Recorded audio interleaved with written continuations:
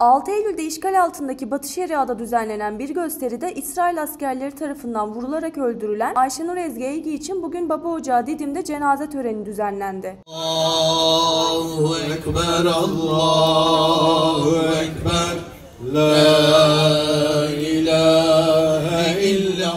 Cenaze töreni Türkiye Büyük Millet Meclisi Başkanı Numan Kurtulmuş, Cumhurbaşkanı Yardımcısı Cevdet Yılmaz, Dışişleri Bakanı Hakan Fidan, İçişleri Bakanı Ali Yerlikaya, CHP Genel Başkanı Özgür Özel, diğer parti temsilcileri, bürokratlar, STK üyeleri cenazeye katılım sağladı. Cenazeye katılan Türkiye Büyük Millet Meclisi Başkanı Numan Kurtulmuş, zalimler bunun hesabını bütün uluslararası mahkemelerde verecektir dedi. Ayşenur yakın mesafeden doğrudan ateşle sol kulağının arkasından giren kurşunla şehit edilmiştir. Bunun hesabı sorulacaktır.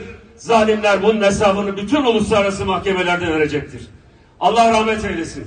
Filistin'in bütün şehitlerini rahmetle anıyoruz. Filistin davası eninde sonunda mutlaka zafere ulaşacaktır. İşte o davanın, o davanın bayraktarlarından birisi Ayşenur evladımızı bugün Didim'e defnediyoruz.